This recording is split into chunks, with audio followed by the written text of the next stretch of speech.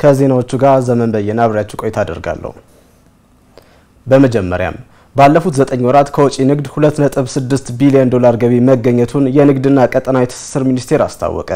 በተጠቀሰው ጊዜ 3.7 ቢሊዮን የአሜሪካን ዶላር ገቢ ለመሰብሰብ ታቅዶ 2.6 ቢሊዮን ዶላር መሰብሰቡንም የንግድና ቀጠናዊ ትስስር ሚኒስትር አቶ ገብረ መስቀል ጫላ ገልጸዋል።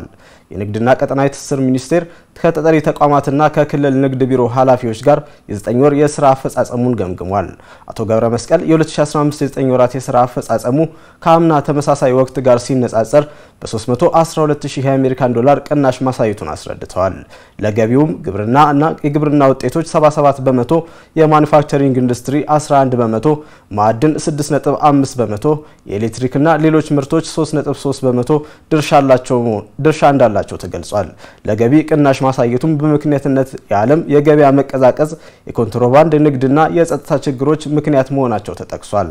ዘገባው የኢትዮጵያ ፕሬስ ድርጅት ነው።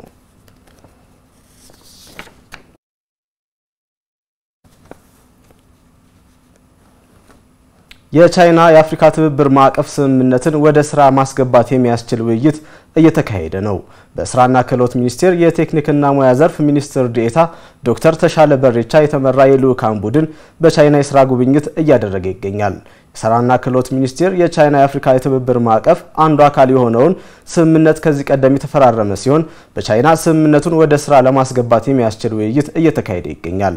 በውይይቱ የቴክኒክና ሙያ ስርዓተ ትምህርት ቀረጻ፣ የተቋማት አቅም ግንባታ፣ የማሰልጠኛ መሳሪያዎች ድጋፍና የቴክኒክና ሙያ ተቋማትን digitalize ከማድረግ አኳያና ሌሎች በስምምነቱ የተመላከቱ ጉዳዮችን ተግባራዊ ለማድረግ የሚከናወኑ ተግባራት ተነስተዋል።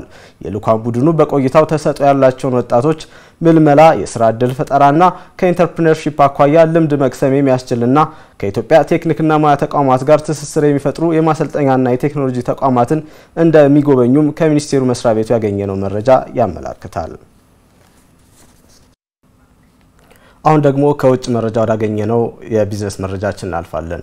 ግዙፉ የስዊስ ባንክ ድርጅት በዓመት የመጀመሪያዎቹ ሶስት ወራት 68.6 ቢሊዮን ዶላር ከባንኩ መውጣቱን አስታወቀ።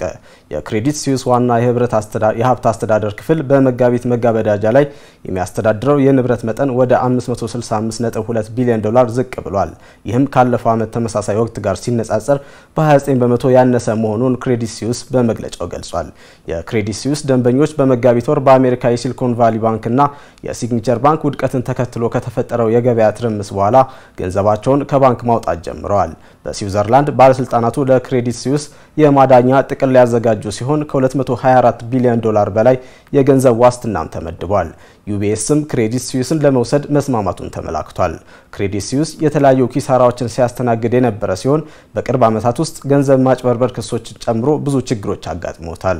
ለአውሮፓውያን አቆጣጠር በ2022 የ8.3 ቢሊዮን ዶላር ኪሳራ ያስተናገደ ሲሆን ከ2008 የገንዘብ ቀውስ ወዲህ በጣም መጥፎ ዓመት ነውም ተብሏል። እስከ 2024 ድረስም ትርፋማ ይሆናል ተብሎ እንደማይጠበቅም ተገልጿል። ዘገባው የቢቢሲ ነው።